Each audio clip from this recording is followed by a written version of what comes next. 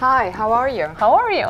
You know, I have been developing and validating a new method in our lab recently. I evaluated the process efficiency and the results are not okay. Uh, in order to get to the root of the problem, I evaluated recovery and matrix effect separately. Okay. Recovery is close to 100% and therefore acceptable. Okay. However, I observe severe matrix effect. Have you got any suggestions what I could do to improve my method? Well, you know that matrix effect is caused by the matrix components that coelute with your analyte. Mm -hmm. So you could either try to reduce the amount of these components with sample preparation or try separating these components with chromatography. How many analytes do you have?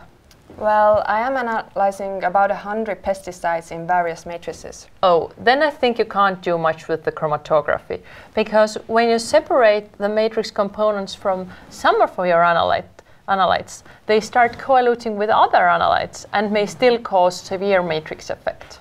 Okay, then this leaves me with the possibility to try a sam different sample preparation? Yeah, for example, you could uh, try to add a cleanup step to your sample preparation or maybe test a different SPE column.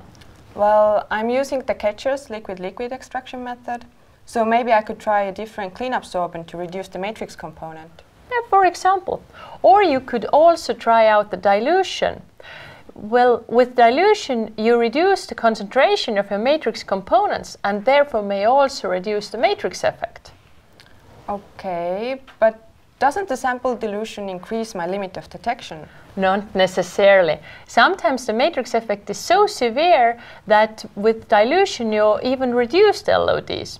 For example, I have had cases where I don't observe chromatographic peak for my analytes for the original sample. But when I dilute the sample, the peak suddenly appears and I can even carry out the quantitative analysis for this sample.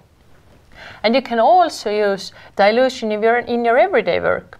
For example, you can inject both the original sample and the diluted sample. And if the calculated concentrations for these samples agree, you can be sure that matrix effect did not influence your analysis. Okay, that's interesting. But what do you think? Could I also go for matrix match calibration?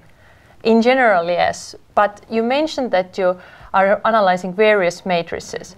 So, as you know, matrix effect may vary stro strongly between different samples. Not only between tomato and apple, but also between different varieties of apples, for example.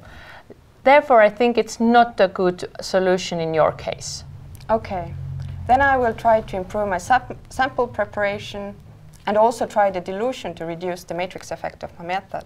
Thank you very much. You're welcome. Good luck.